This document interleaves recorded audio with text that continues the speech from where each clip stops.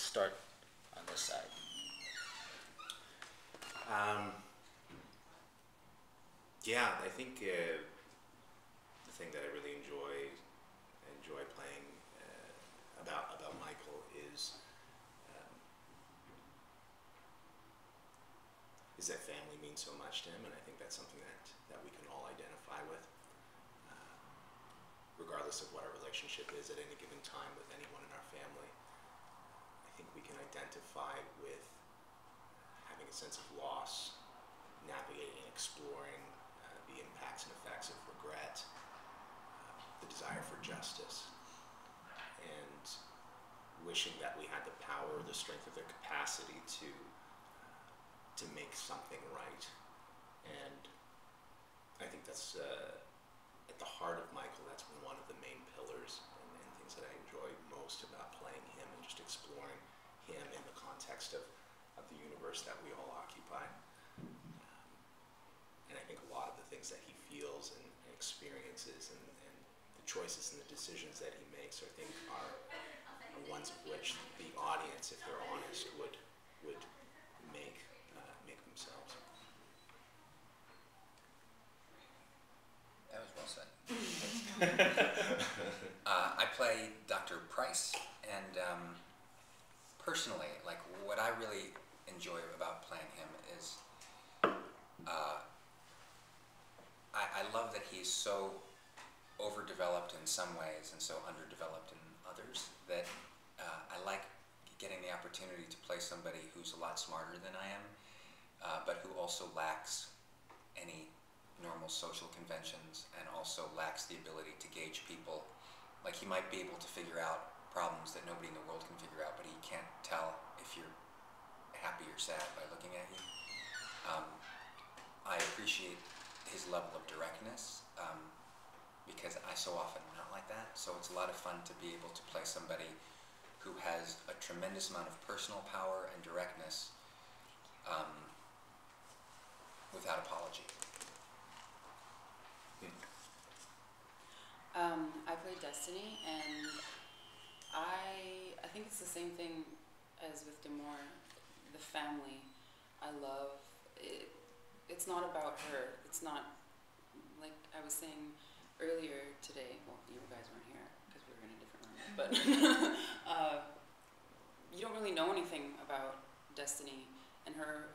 Everything for her is about it's about everybody. It's about Peter mostly. It's all it's all about him. And every time she does any sort of spells or channels anything, it's all to aid what he's going through. Um, and I, I also I love playing her because of because of that because of all of the different things that they end up throwing at me and throw at, throwing at my character and seeing um, what I can do with it. You know, like you're gonna dunk your head in a bathtub Hmm. all day. Rocket, you know. and it's fun. I love it. Um, but yeah, but I love the the relationship that she has with Peter and also with the with Andreas, who ends up coming into the show, um, adds a whole other dynamic, and she's just so full of love. Everything I think she's guided by love, you know, and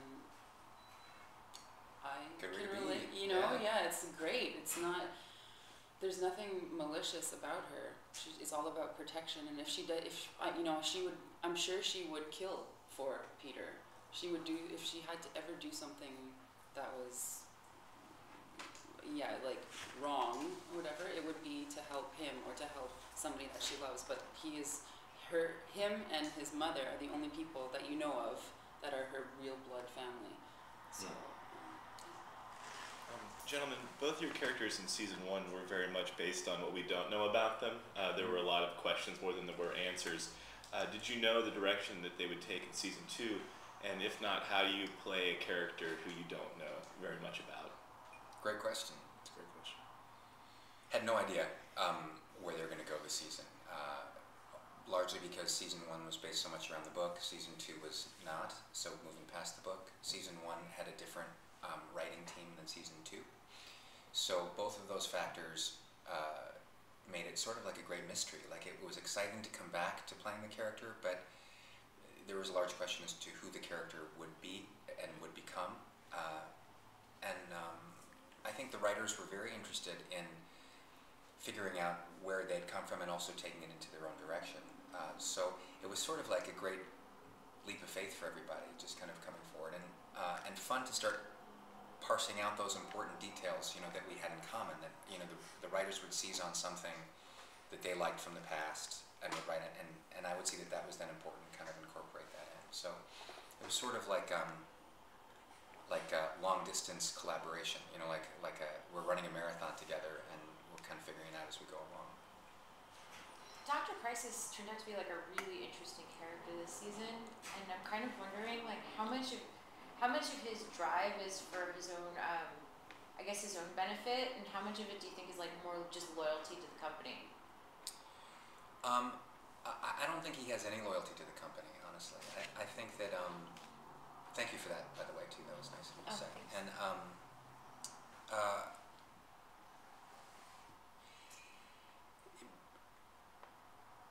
I forgot what I was going to say. I was like, it was, it was really good too. So I was like, should I chase after that thought? And I was like, ah, it's gone. Uh-huh. um, uh, so I think that um, uh, he just uh, what makes Pryce interesting? I have no idea. Like I, you just asked me, I was like, hmm, what does make Pryce so interesting? I, I don't really know. Uh, he uh, um, it's just the simple fact of chasing after what it is that you want. You know, like it's just that it's that basic question, and what he wants is so big, so it's fun to kind of uh, have that much at stake Mm-hmm. all the time. Um, I'm sorry, can you repeat this? There was a second part to your question. I feel like I. Oh, like how much of it is just for his own benefit? and How much is it is like loyalty to the Godfreys? Um, I, I don't think that he's. Uh, I don't think he has. I think his loyalties are in a different place. Like I, Mhm. I, I think that people you can you can ask questions about like, well, does he have loyalty to the people he works for, to these people? He's he's operating on a completely different um, uh, game board sort of thing. Like he, I think he feels like he's doing something for the world, and he has his own moral code. So. Um, he's he's actually I think not um, he's not like a good guy or a bad guy in like your normal uh, way of thinking about things. Like he's he's he's trying to kind of um, do something for the benefit of how he sees it, humankind, and whatever he has to do to get there, whether it's seen as evil or bad, he doesn't care as long as he can get it done, because the long term effects will be good. How important is it just to keep your character sexy? How important is that for you? But at the Is for same all time, three of us or just well, you, you- everybody's got a whole different fan base of things, so you never know. To keep my character sexy? Yeah. Tiio must wake up in the morning, roll out of bed, accomplished. Thank you. Um, I don't know. Uh, I mean, The reason I ask that because these teens love these female characters. There's just something about them that they like, and at the same time, you know, their victims aren't there the next day, kind of thing. So they, they like that. mm, That's why I ask. um, I never really think about her being sexy. which is why it's sexy because I think I think uh, for Tiio, I think when she uh, why she's having difficulty answering the question is because that's why uh, she comes across as sexy because if you think about it, then then you're not. yeah, like I don't. I don't know. I don't like. She doesn't really dress provocatively, she, unless she she's working or whatever. But yeah, I don't really think of her as sexy. But it's very flattering if people do think that she's sexy. Um, earlier, Eli was talking about his inspiration, sort of influences of melodrama and David Lynch on the project, and I think that's resulted in a kind of very stylized or kind of different uh, acting style. Um, is preparation different for you as actors, something like this, as opposed to something more naturalistic or realistic? I mean, we, it's a crazy world that we have to be natural and and we have to be natural in, you know, and realistic. and I think that's what makes it accessible to other people. It's, do you know what I'm? Do, do you know what I I'm think saying? there's a, I think, there's a, I, I think I resonate with what you're saying. Like there's a universality to um, the circumstances to are human crazy. beings. Sorry. Yeah, yeah, no, go ahead, go ahead. No, I'm just saying the circumstances are crazy, and yeah, we're dealing with monsters and and werewolves and, and stuff like that, and witches, and but it's real for them, you know. Mhm. I- So they have to deal with it realistically. I think that we, we trust, like, you know, Eli and, and Chic and Brian, they, they're all creating a world that is based on melodrama and, and all these other influences. But I think our approach has to be uh, similar, like in our, uh, similar to our other work, where we're trying to tell the story truthfully, you know, and in whatever way we can. I think I don't really think of it all that differently, although I know that the things, the choices that I make in the course of the day are much different than they might be if I was working like, you know, on a kitchen sink drama or something like that. Were you guys surprised that there was a season two, and what was what was it like when you first got cast for your roles? Um, you gotta go. I, re- I really enjoyed uh, when I was cast as Michael. I really enjoyed the sense of mystery that that surrounded him. Uh, I really enjoyed just how badass he was. Right, just So uh, badass. just the mystery and and and that sort of that, that badass quality. Uh, and I think the unknown I I actually liked entering into the foray at the end of the season. Uh, again, because I think it ratcheted up that sense of sense of mystery. It's, it's sort of a sense of who is this guy and how does he fit in and uh, who's he going to become? What's his impact on, on Hemlock Grove going to be? Uh, as far as the surprise of season two, uh, no, I think I think for myself, I've been I've been doing this long enough where uh, either way is not a is not a surprise uh, because there's so many different factors gotta be involved. prepared for what happens. you know the things that you think are going to go and, and must go and, and humanity depends on it because it's so brilliant and wonderful uh, and never see the light of day again and, and sometimes the opposite happens. Uh, so i think uh, i spend less energy now and, and less and less so as, as my career goes on uh, trying to figure that out uh, because ultimately there so Well, uh, I, I kind of echo what Demore says about. I mean, I'm surp- I'm surprised uh, the same way I'm surprised always about continuing to get an opportunity to work. you know, there's that feeling of like, um, oh my gosh, I get to go to work again. Yeah. That's, that's, And, and that's why I asked it because you never know. you Yeah. never know. You never know, and you never know when you know, you know. s- The good thing about Netflix is because it's there. You don't have to worry about a lot of stuff. But on networks, you just never know. That's true. That the, you know the whole pilot model. It's it's it can be very frustrating that way. That you would spend years and years and years and millions and millions of dollars developing a project that will never even get a first episode after the pilot. You know when and you've put all that stuff into it and you've you know you've made your Bible that's you know three seasons long and you've you've done all that stuff and, and it never makes it out. Netflix is really committed to you know. Uh, they want to see the story that you're going to tell, you know, and then they and then they want to see more. They'll ask a lot of questions about it, but they give they give the artists a chance to kind of create their work, which, you know, it's very exciting. It's very exciting to be part of that. I was same thing. I got a job, you know.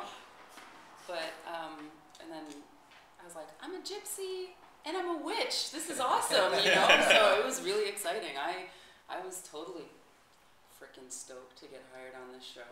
Um, it, it's just such a cool take on the whole monster world, and um, however I could contribute to that, you know, I'm I was totally flattered to, to be cast. flattered is Yeah, it was. resonate It's like really me? Okay, thanks. Yeah. You liked what I did? Cool. So despite all of the supernatural aspects of the show, there's a lot of like really um, sort of realistic elements of Hemlock Grove as well, um, including sort of the class struggle between the um, characters, especially when Linda gets arrested Mhm. and they can't come up with the money to get her out at first. Mhm. So I was wondering how you see your characters kind of fitting into the whole um, class structure of the show. Um, I mean, I think I don't really come from high class. you know, it was sort of easy for me to like, okay, we gotta. I need to make some money to get from A to B. So what do we got to do to make that happen? You know, I mean, that's the background that I come from. My mom isn't rich. She works for she worked for everything that she had, but it was like if I wanted to go on a tournament with water polo, she found the money to get me to get me there, you know. And I think that destiny fits in into that sort of thing. Like she she's gonna do what she's got to do, and she's gonna get that money. And I think the class. I think it's yeah. I think it's pretty interesting that you bring that up. I I It's didn't great even realize that. Yeah, question, it's cool. Yeah.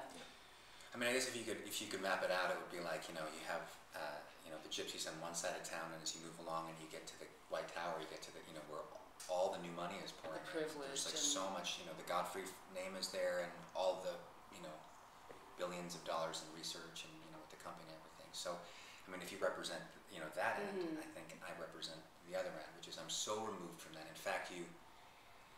I'm trying to think if in well, the season struggle, you know, like I find the in the lower class, it's like it's a constant struggle every single day. It's like, am I gonna have, am I gonna eat tomorrow? Well, you yeah, and those struggles, like your struggles of eating, like th- those are, like Pryce's struggles are not those Mm-mm. struggles. Like in fact, I'm trying to think if you ever see Pryce outside in season two. You may not actually. I- I'm actually thinking about it, and you never, s- you know, you may never see him outside. I think never for the lower, necessarily is Ivory Tower. I think for the lower classes, it's about survival. It's just about Like basics, or like because Yeah, I think it's basic everyone has survival. survival issues, but you're right. Like like where am I going to eat? Like for Mhm. me, it's like um, or they're driving us out of town, you know, Mhm. with the with Peter and the werewolf and everything. yeah. It's interesting with class too because uh in some ways I think it probably depends for the different characters. It depends on what it is they want and what they need to in order to achieve it. Um, because I, I it's a great question. My head's kind of been mulling that with, with regards to Michael. And um, while from a class or societal standpoint, you could say he is here versus here versus the Godfreys versus Pryce versus Destiny. Uh, there's a way in which uh, what he wants to achieve, I believe, in a lot of ways, stands outside of class because uh, it's it has to do more with his uh, his intellectual acumen. It, it, it has to do more with his background and experience and expertise as it relates to what he's trying to achieve, uh, and less about less about money. You know, uh, not that class is really about money. Uh, it's a great question. Yeah, my head's working on that one. Mm-hmm. Um, when you look across the rest of the TV landscape, what do you see and say, man, I'd love to work on that, or man, that's really impressive? I would love to be on Orange is the New Black. Just putting it out there. but as a woman and just the characters and the writing and it's great to see a show that's just so full of strong, talented, beautiful, amazing women. I don't know, for me as a as a woman watching that. I love seeing strong women too. Yeah. That's what's wrong with this. Yeah, yeah. Uh, along those lines, Tatiana Maslany in Orange is Mhm. Orange is the Black and uh, Orphan Black. hmm Anything with the word black in it, apparently. What's coming up next for you guys since everything's done now? Um, I'm gonna be on a mini series in Canada and also a web series, like a comedy.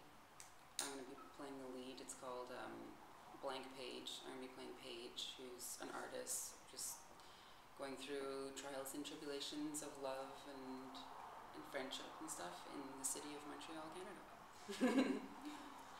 I'm going to be joining a series for the time uh, for for a period of time uh, on Team Nickelodeon, and I'll be playing a head of uh, head of emergency and, and love interest. Yeah. Yeah. Um, I a couple movies that are supposed to be coming out. One called uh, Julia, which is a, um, an intense horror film, um, and another called Ava's Possessions, which is an interesting film that it picks up after um, the possession is over. So the, Ava wakes up and she's been she had been possessed, and so she's dealing with the ramifications of what happened after that, which I thought was a really interesting take uh, on that story. Uh, and then right now I'm, I'm touring um, this one person play that I've been doing for the last uh, two years called Hold These Truths. Who is that at? It's going to Seattle this time. Um, uh, it's based uh, on the life of this man named Gordon Hirabayashi, who was a Japanese American Quaker during World War II who refused the internment. And his case went all the way to the Supreme Court, and he lost. And then 35 years later, they found all this documentation that allowed them to reopen the case, and, and then the, it was overturned. It's a, it's a great, great story about a really interesting man. It's a very good story. I know about that. Very interesting. It's called Hold These Truths, the play, and uh, hopefully we'll get a chance to. It would be great to bring it to Los Angeles, but kind of. It kind of depends on what my schedule is at the time too. But um, it's a beautiful play. Thanks. What do you hope the audience gets out of seeing season two? Gosh, I, I just hope they're really entertained. I hope I hope we surprise them. Um, I hope we're able to push the boundaries on them a little bit. Um, give them uh, a little of what they expect and a lot of what they don't. Um, and um, but more than anything, we just want them to be entertained. I want them to have fun. Yeah. I want them to have a curiosity uh, stirred and awakened, you know, that they want to see more of all the characters they want to see and unfold. Mm-hmm. You know. Thank you guys. Thank you. Thanks, guys. Thank, Thank you. you.